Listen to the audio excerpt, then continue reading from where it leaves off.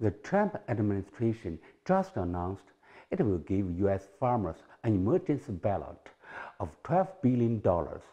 This is an important sign the White House is starting to scramble. Those farmers are now disaster stricken.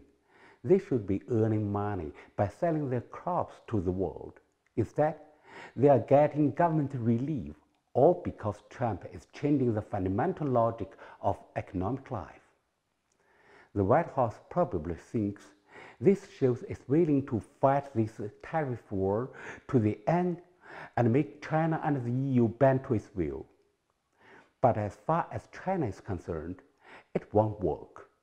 Now that the trade war has begun, China will not make an unprincipled retreat. China is more capable of maintaining social order and appeasing businesses and workers hit by the trade war. Trump's subsidies will only have to get bigger and bigger, which will increasingly distort the US economy. As this continues, he will increasingly find there is no way to back down. When this becomes a protracted trade war, Trump will never be able to hold out longer than China. I sure hope he has a backup plan.